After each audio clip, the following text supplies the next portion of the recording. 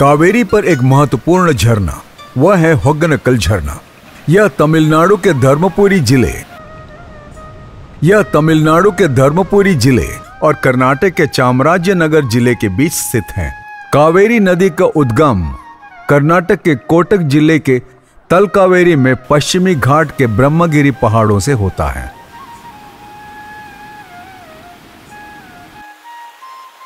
कावेरी होगनकल में तमिलनाडु में प्रवेश करती है, इसलिए इस स्थान को पवित्र माना जाता है। जिस कुंड में पानी गिरता है, उसे वागना या याज्ञ कुंजी भी कहा जाता है। अपनी धार्मिक पवित्रता के अलावा होगनकल अपने शांतिपूर्ण वातावरण और उत्कृष्ट प्राकृतिक सुंदरता के कारण एक प्रमुख पर्यावरण पर्यटन केंद्र बन गया है। हालाँकि होगनकल धर्मपुरी वन प्रभाग के अधिकार क्षेत्र में है, किंतु तमिलनाडु पर्यटन सहयोग विकसित इस स्थान को पर्यटन स्थल के रूप में विकसित कर रहा था।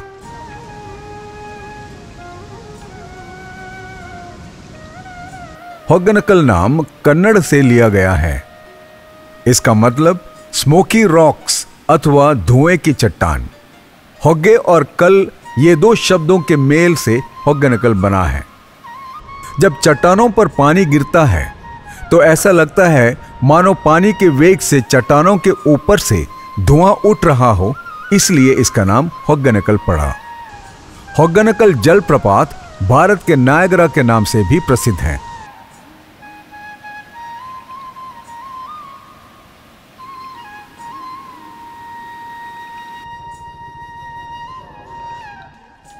टोकरी नाव यंत्राएँ, झरने में स्नान, मछली के व्यंजन और तेल मालिश, ये सभी चीज़ें पर्यटकों को आकर्षित करती हैं।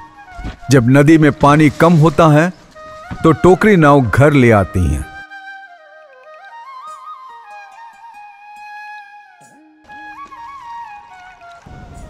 एक टोकरी नाव में एक समय आठ लोगों को ले जाने की क्षमता है।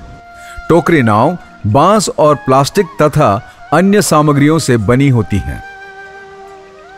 इनका निचला भाग चमड़े से बना होता है और कभी कभी प्लास्टिक की शीट जल रोधक होती है।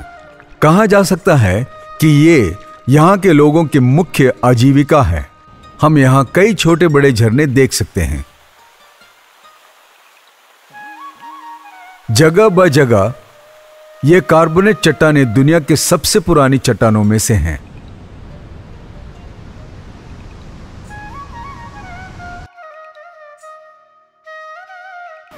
इस झरने के पानी को तमिलनाडु पेयजल योजना के लिए मोड़ने का प्रयास किया जा रहा है। होगनेकल झरने की यात्रा का सबसे अच्छा समय मानसून के बाद का है, जब नदी पूरे प्रवाह पर होती है।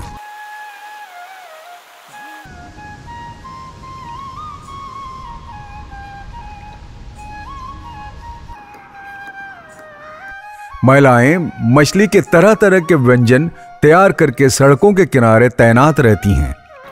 टोकरी नाव यात्रा के बाद पर्यटक यहाँ नदी से पकड़ी गई मछली के व्यंजनों का स्वाद चखे बिना नहीं लौटते।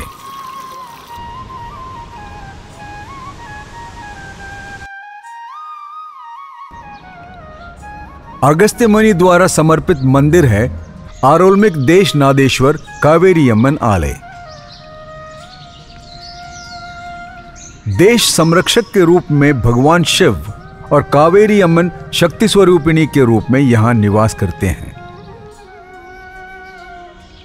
इस स्थान को दक्षिण काशी के नाम से भी जाना जाता है। तमिलनाडु के एकमात्र कावेरी अम्मन मंदिर होगनकल में स्थित है।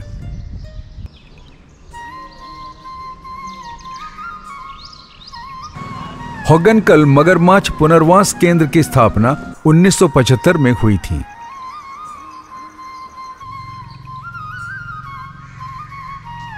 लगभग 50 सेंट के क्षेत्र में स्थित यह स्थान फॉरेस्ट कॉटेज के सामने है। यहाँ करीब 113 मगरमच्छों की देखभाल की जाती है। इस केंद्र की खासियत यह है कि मगरमच्छों को बहुत करीब से देख सकते हैं।